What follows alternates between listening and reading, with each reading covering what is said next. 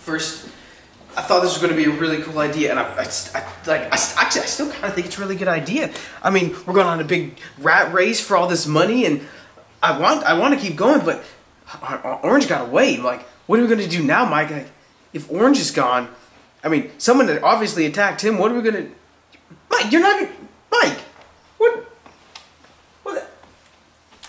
Check out this tooth I found. I think it's a shark tooth. Okay, yeah, okay, whatever. Orange got away. What, what are we going to do? I mean, we well, I'm going to keep this, that's for certain. Okay, yeah.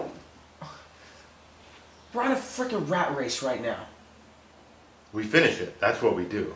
We're going to finish this. Yeah. You always start stuff and then, well, I don't want to do it. No, we're finishing it. Do you still have those keys? Yeah? Well, we're going to 12 Kingo. Okay. This is gonna be good. I promise you this will be good. They're reading up on the master text, but I just want to know what's next.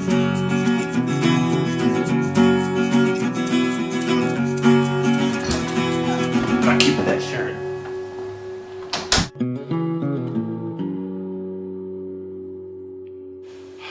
kind of look like a garage.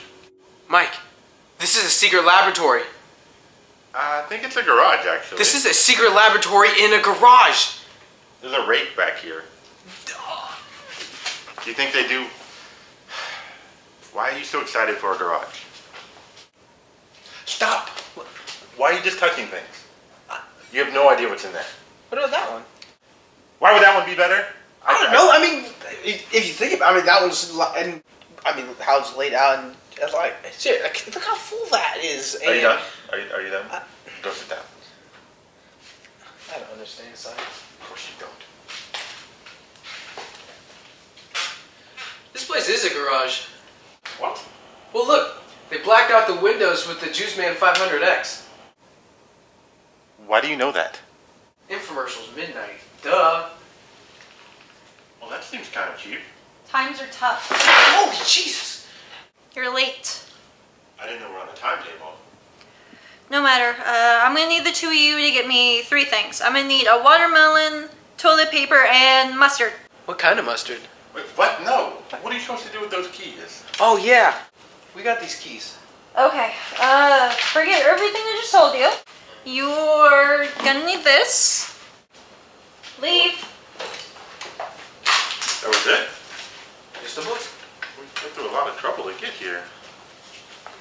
You're right. I mean, that lady was kind of rude. I mean, there's no. You're right. Oh no. You should drive. Was something out. in the lab? I don't know. I'm just gonna chill out in the back seat. All right, man. Here. What the hell?